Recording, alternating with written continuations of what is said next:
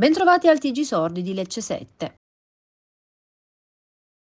Maxi Blitz antimafia a Casarano. Sono 13 le persone arrestate dai carabinieri su disposizione della DDA per associazione a delinquere.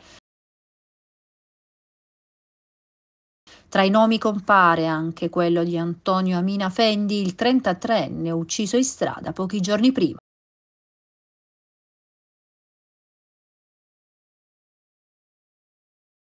Case vacanza affittate a nero, nuove scoperte della Guardia di Finanza, verifiche fiscali sulla locazione turistica di immobili a Porto Cesario, Ugento,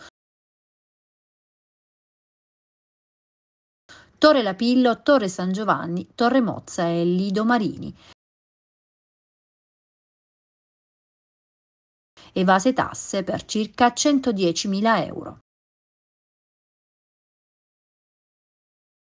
Stroncato da un malore mentre era alla guida, a perdere la vita è stato il 57enne Sergio Rutigliano, ex sottufficiale dell'esercito in pensione, che è andato a sbattere contro il muro di cinta di un'abitazione alla periferia di Nardò.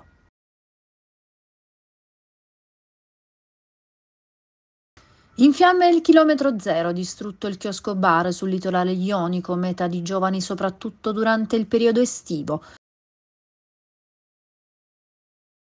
L'incendio in località La Reggia.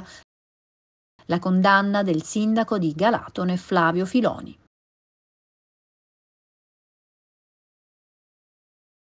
Bimba nasce in volo aereo a terra all'aeroporto del Salento